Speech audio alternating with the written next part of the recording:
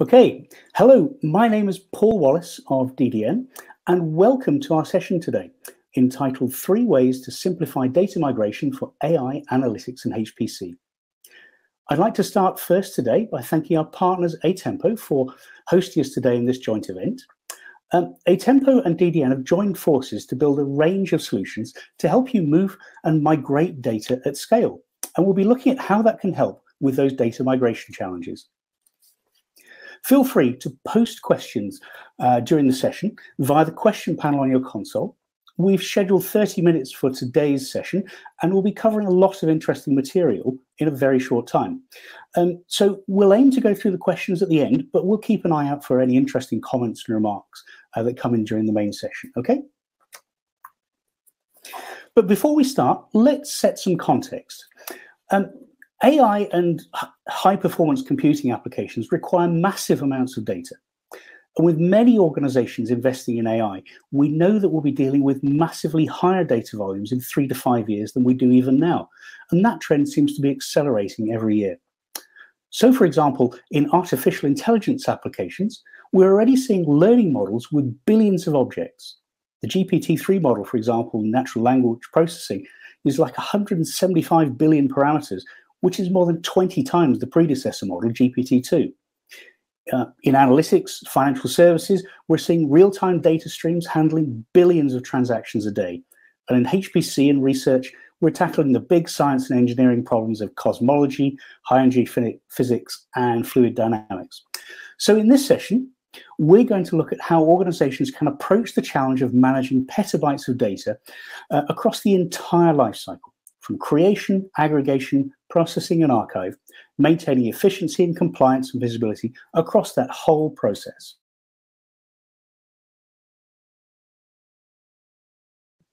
Let's move on, talk about our guest speakers for today. I'm excited to be joined by Mike Oakes from Atempo. He's a 30-year veteran in the data management industry um, from Atempo. Welcome, Mike. Good to have you on. Hey, Paul. Glad to be here. Thank you. Yeah. And I'd also like to introduce Maria Gutierrez from DDN. Maria is responsible for the integration and adoption of the data flow solution from DDN. Thanks for joining us, Maria. Thanks, Paul. That's good. So why don't we hand over to you straight away, Maria, uh, for you to tell us about yourself and DDN and D data flow. Mm, yeah, great. Thanks, Paul, for the introduction. Uh, well, uh, so I'm Maria Gutierrez. No, I'm responsible for data flow product at DDN. And uh, today, first, I would like to um, introduce you in the next uh, few minutes who we are, no, uh, who is DDN, and who do we serve. So who is DDN? So DDN is the largest privately uh, held storage company in the world. So we have summarized here on this slide in a few figures, no, uh, DDN for you.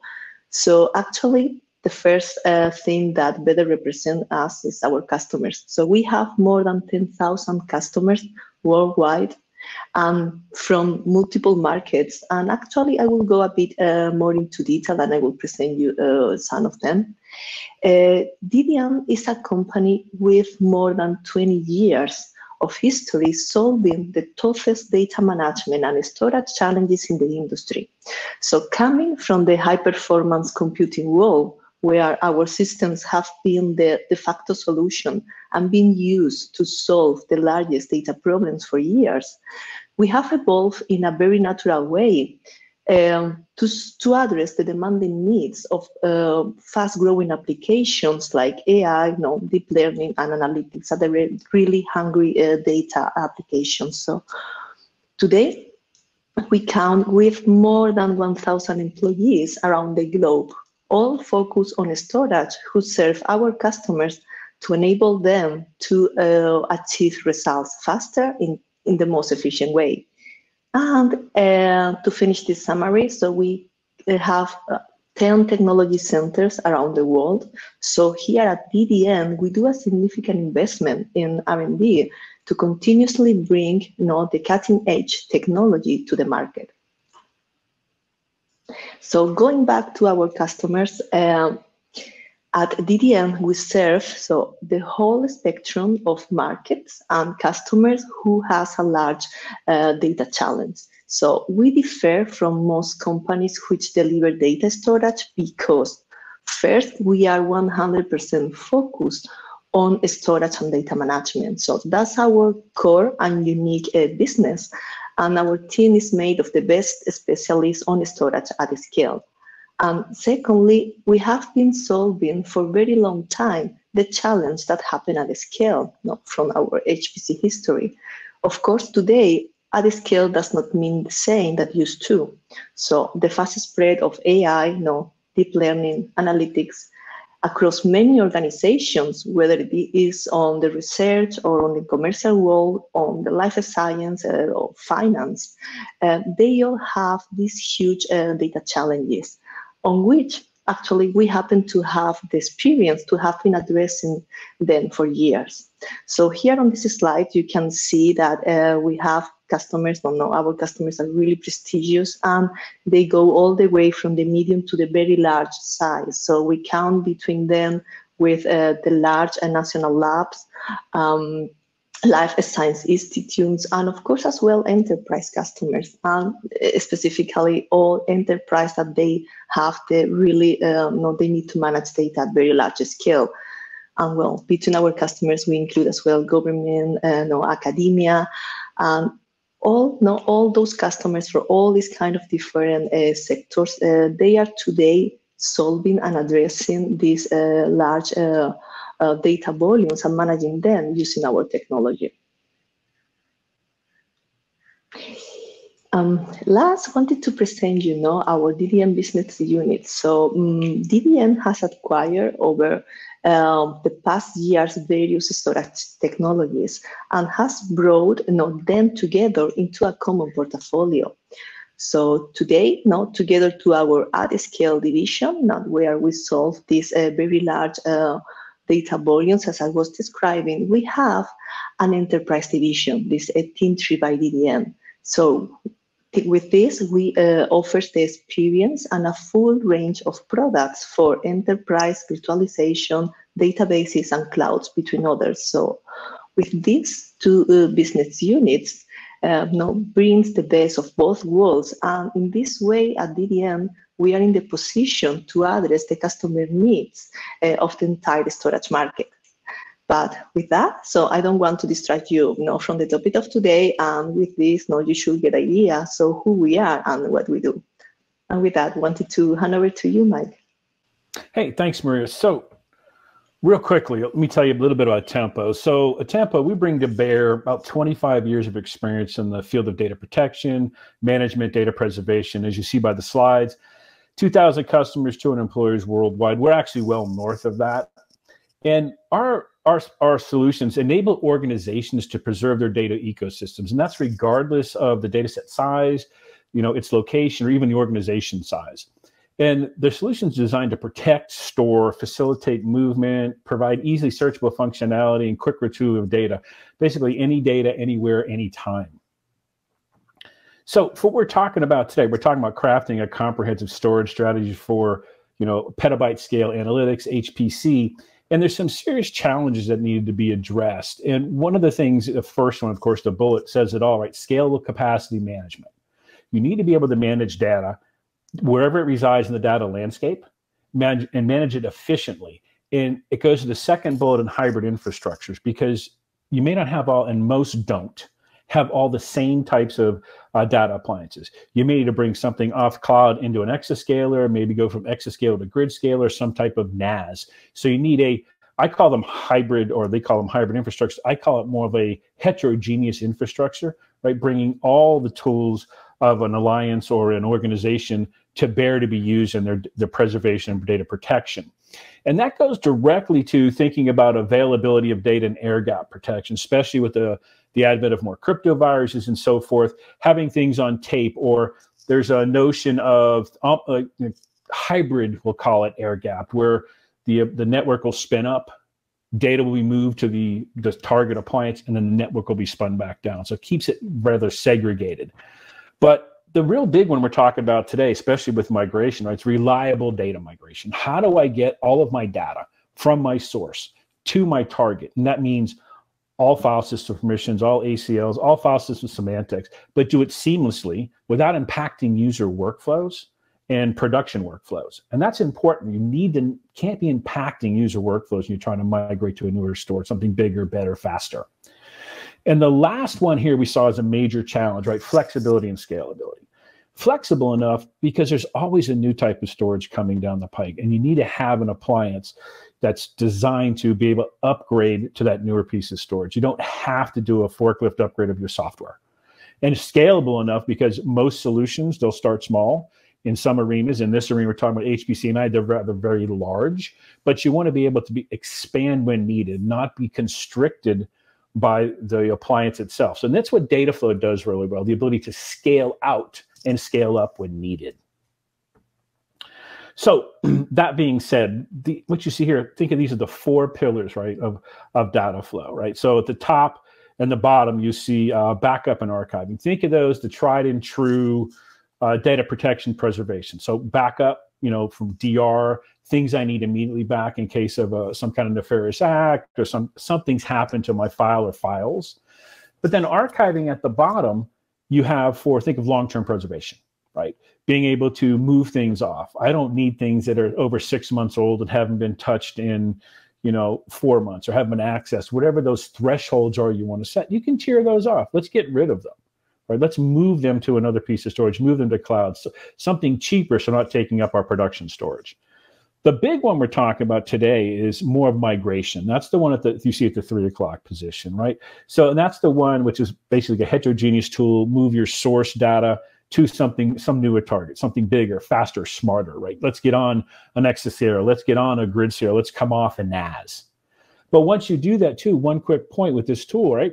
Dataflow allows you, once you do the migration, now you need to protect it. Now you just need to license backup, maybe license archive, license the capacity, whatever workflow you need. But another one that was added, you'll see at the nine o'clock position. Think of this one. This is data moving, right? Think of this as sync copy, replication, could be manual, could be automatic. So what Dataflow has done here, if you think about it on a previous slide, right, it addresses those challenges, those petabyte needs of AI, analytics, HPC, with a software appliance that scales as workflow scale. Challenges change. You just need to license what you need and when you need it. Paul? First, thanks, Mike. Look, if we take a step back a moment and think about those four pillars, we, are looking to focus on data migration in this session. Um, I'm interested to hear from you what sort of tools customers have used in the past for moving these really large data sets. How did they approach it that you were then able to say, here's, here's what's going to be different? Right. So if you think about it, a lot of times what happens is a customer will say, well, I'm going to try RoboSync or I'm going to try, uh, so RoboCopy yeah, yeah. or RSync. Sorry, I mixed those two together. And um, what happens is it's for a small data set, it's not bad. But when you get to very large data sets, petabytes in scale, using something that you have to program, set up cron jobs, it's like taking a Pinto to the Indy 5, you know, the Indy 500. You're going to get crushed with the amount of work you're going to have to do. And Dataflow simplifies that, right? It allows you to program, do all, all interfaces through GUI if you so choose to make everything simple, but also offload the admins from any kind of further having to administer, you know, multiple machines throughout an entire infrastructure. Yeah, I guess you're going to place quite a heavy workload on the infrastructure when you're going to do that, particularly with these really large loads. Um, so maybe put it across maybe to Maria. Um, what sort of experience have you had with customers using data flow for migration of those really large data sets? How does it how does it make a difference and what experience have they had? Well, so with Dataflow, we have no, uh, very good experiences already that really has demonstrated know, how is the migration of a large data set. So we have had customers that really, they try exactly the, the approach Mike, uh, Mike was commenting, no use rsync, own scripts.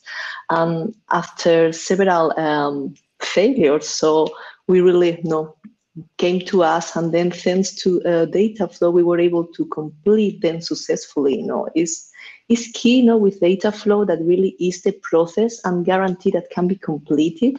So because with Dataflow, we, um, it's possible to overcome any issues along the migration that might happen, no? moving especially so large volumes. You can have uh, network issues, uh, hardware issues, data transfer is breaking at some point So with um, data flow, we can pick up no, and continue the, the data migration where was left.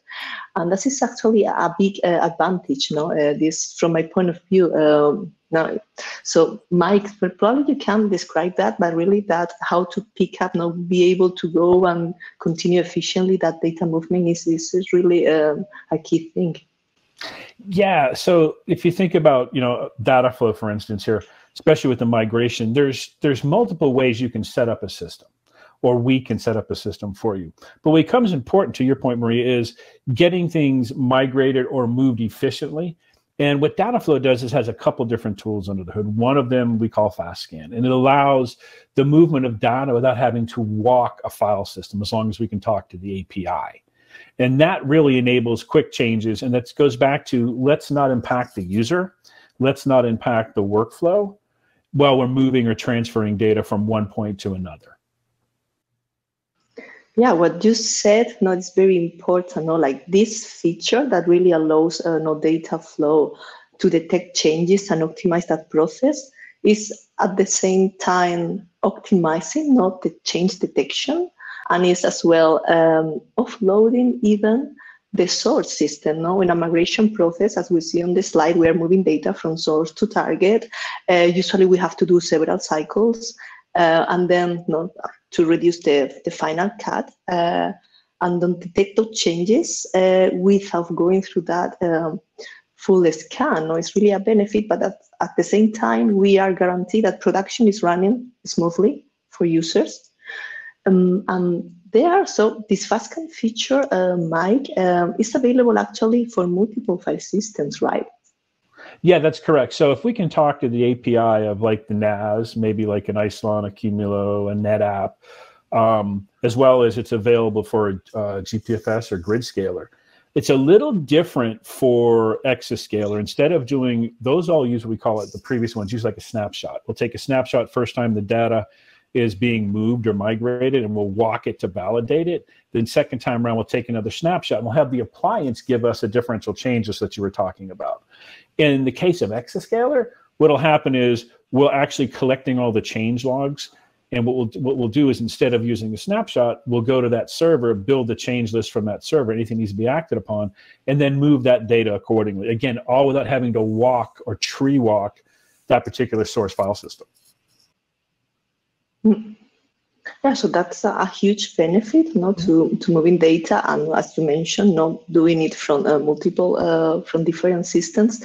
So, and that actually this FastScan uh, feature is, is of course something that benefit uh, not only migration, but all the workflows that the data flow covers, right?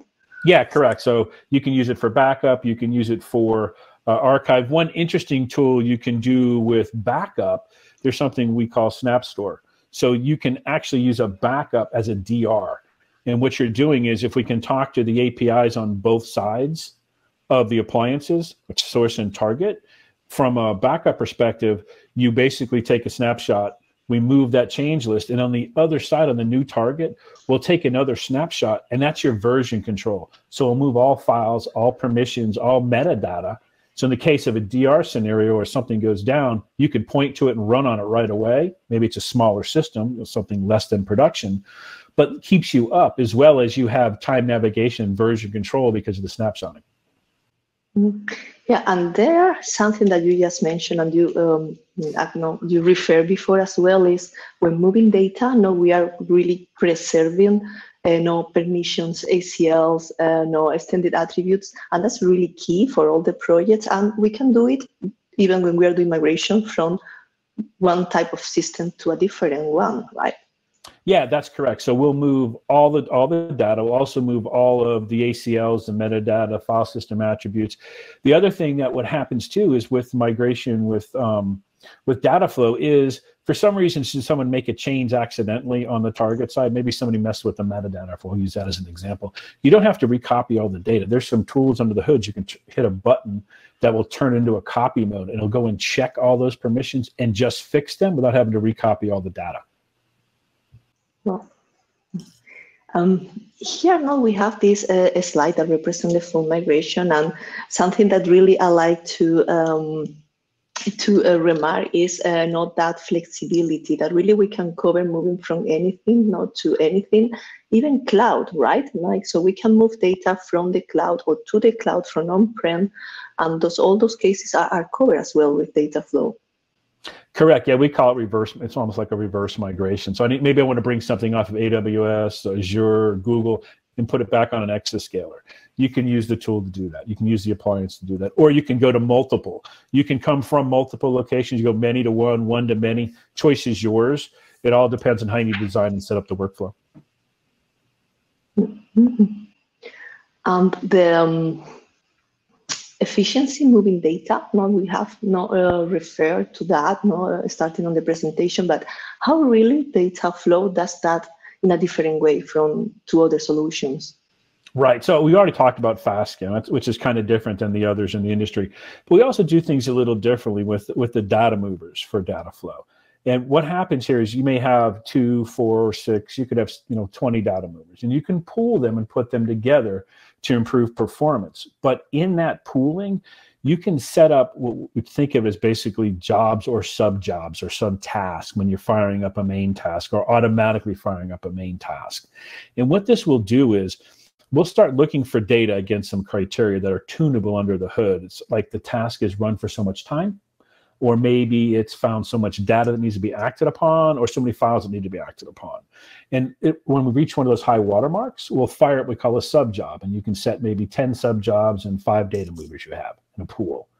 It'll fire up a job and continue looking for data at the same time. And next time it reaches a high watermark, it'll fire up another sub job until it gets to those 10 sub jobs. And we'll place them across that pool of data movers, two per data mover if they're all available. So we, we're basically paralyzing while we're looking for data, right? And we're paralyzing across the data movers. But also what we do is there's cores within these data movers, and let's not let them sit idle. So we'll use those as copy engines. And you can tune those as well. So we parallelize across those data movers, like you mentioned, but then we start multi-threading through them. This gets you the best performance. The data is moved or protected that much faster without having to impact the user because you can dial things up and down to meet the workflow against the, the source storage you're trying to get data off of. Um, as well, no, we are talking about we can put so many data movers as we need and not uh, parallelize. And it's as well very flexible. Like if we are facing a migration at some point for any reason has to be speed up, it's possible just to you know, live uh, join, you know, add resources and speed up the, the process, right? Yep, and that goes to that scalability I was talking about early on. So you can add data movers as you need to, or even shut them off, put them in the pool, turn them off. We just won't use them if they're not seen. If they're seen, we'll go ahead and use them for whatever job transfer they've been assigned to. So um, now here we are talking about the, you know, the workflow, the features of data flow. No, but during a migration, no, what as we were uh, referring, so really usually implies a lot of work for the administrator. No, how uh, data flow really makes no the administrator life along the migration process easier. Yeah, so we went through about a couple years back started looking at revamping the process for this. And what we did is we came out with an http https web gui for migration. So you can manage a migration anywhere in the world as long as you have access. And that means you can configure the storage configure all the tasks but it's all GUI driven. That includes setting up schedules. That includes maybe doing exclusions or inclusions to what you want to move and not move. But it's all managed from one tool has a dashboard with it and it's a daily dashboard like how many objects and or maybe how much data has been moved as well as you can break down the projects and get granular to take a look at what they've done maybe you want to make some changes or tweak them all done from one GUI if you so choose yeah and that's uh not that tracking capabilities of data flow that's something that really uh no brings a lot of value to administrator they can really follow the process they can have partial reports. They can know, report how is the process uh, going. All of that is um, is not via this GUI, really simple to access and to follow along the entire uh, no migration. Mm-hmm. Yeah, you just brought up a really good point. So with every job that runs, you get a report. And the thing about that report is eventually, especially during a migration, you have to do a cutover, but you need to know how long it's going to take to do the cutover. Inside each one of those reports, maybe when you're doing your incrementals to catch up from your daily change rate, it'll tell you how long it took to run, what it moved, like how many files or how many directories, also how many had to delete, because you can run this in echo mode, which makes source match target. And if we had to delete anything on target, we'll also tell you how to delete X amount of files. But at the end, it gives you a complete histogram of how long it took to run. So you can set expectations with the users or the corner office people to say on a Tuesday, it's going to take me two hours at midnight to do my cutover, and then I'm going to switch the user. So we take a four hour window. Everybody gets level set with the expectations that way. And uh, back to the not to keeping data safe and move no data unchanged. So with Dataflow, we can uh, make sure that's happening. All the data, know if there are some checksum, there are hashing available.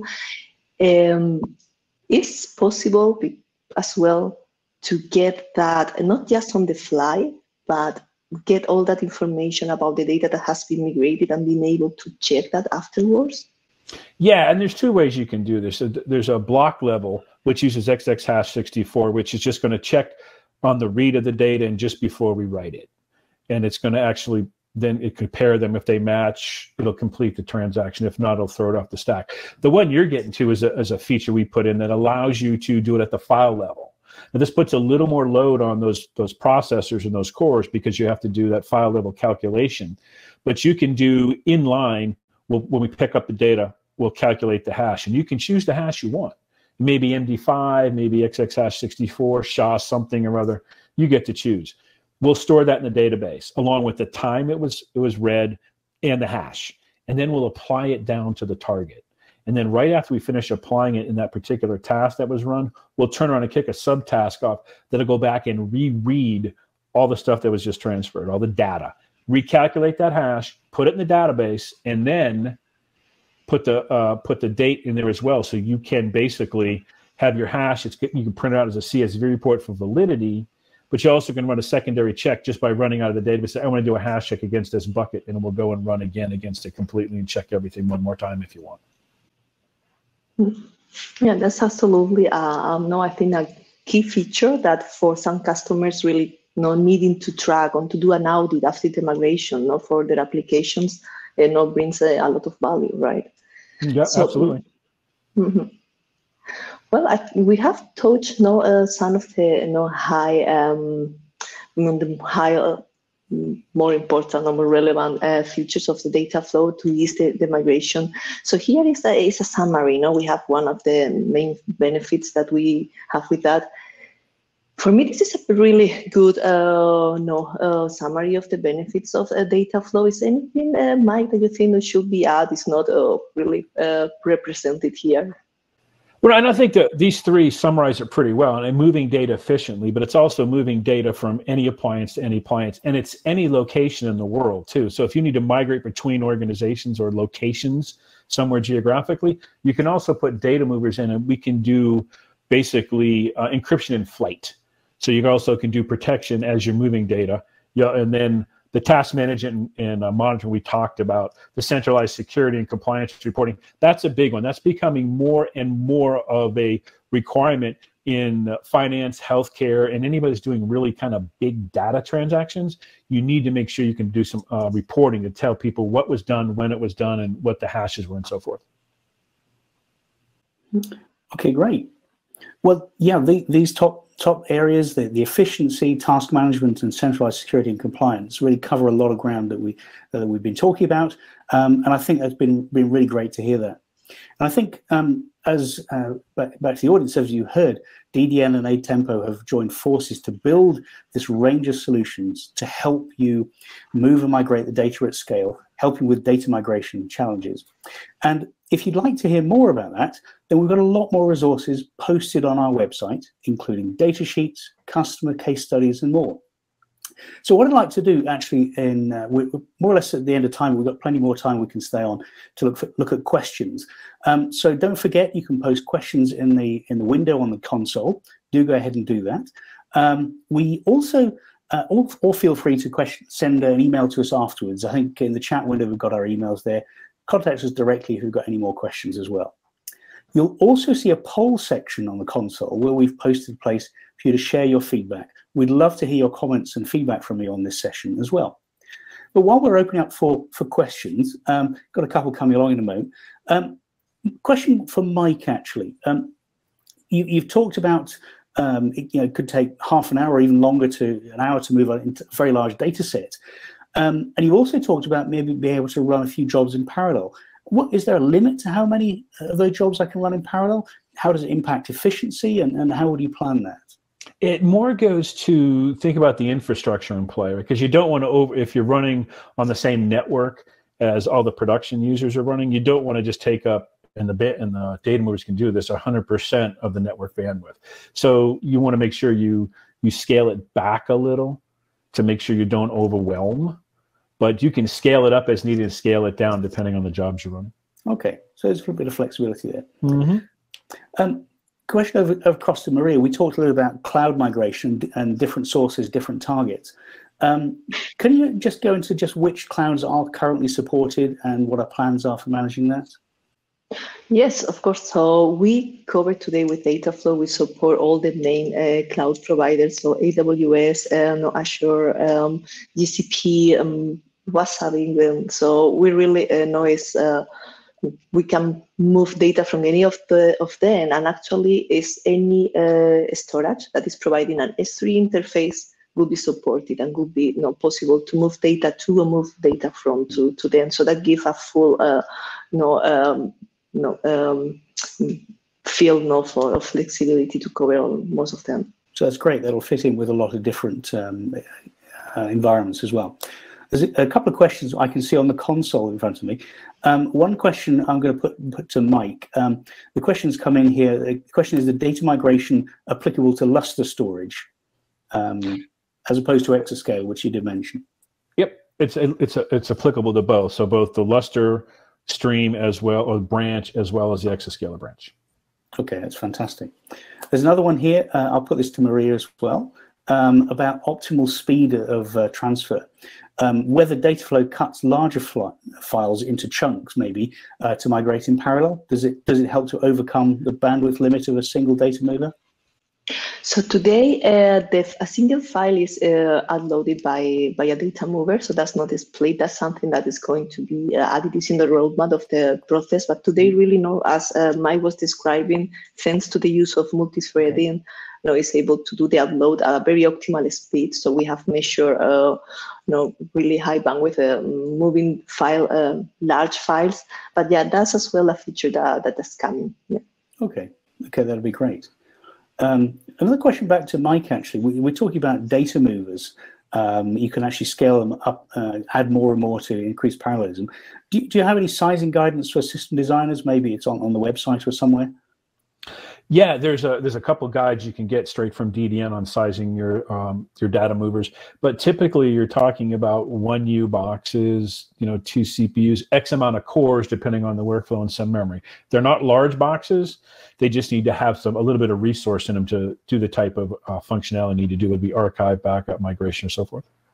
Okay, good, good. And a question to you both, actually.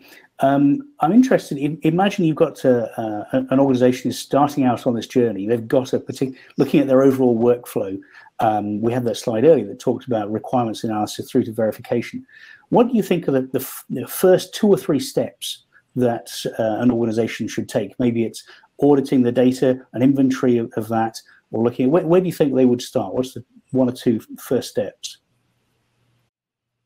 So from from the standpoint of understanding, basically we talk about the data environments. You've got to understand your data landscape first and what you need to accomplish. And that doesn't just include the data. That includes what are my connection mediums between the data, how busy are my file systems, or what the apparatuses I'm going to use. So understanding the infrastructure can help you get to that next step and okay i need to back up certain things and this is what i need to do so you don't want to put so the heart the excuse me the cart before the horse i misspoke that one Okay, good. Uh, there's another question coming. I'll, I'll put it to um, Maria as well. Uh, whether data flow is included for existing DDN customers. Well, so data flow is, is, is of course available for DDN uh, customers. So I guess the question goes in the direction if it's something like included with the product. So usually data flow is a addition, so that can be uh, provided depending on the use case or for the migration, and then we need to cope, especially on migration use cases. Always we need to um, to really define the scope and know and really size properly the the project, but it's available. And, and if you are interested, always no contact your DDN no uh, main sales or well any of us, and of course we will we will give you, you know some um, information on how how we can how we can do it. Okay, great. Okay, well, I'll tell you what, with that, um, I think we'll probably uh, bring it to a close now. I'd really love to thank my two speakers for today, Mike Oakes from Atempo and Maria Gutierrez from DDN. Thank you both for joining us today. Thank you. Uh, thank you, Paul. Thanks, everybody. And, and, thanks also to Atempo for hosting this event with us. Um, great partnership. And thank you to, for our audience for joining us today. Uh, look out for more sessions like this one soon uh, on data management at scale with DDN and Atempo. Thank you very much. Bye, everyone. Bye.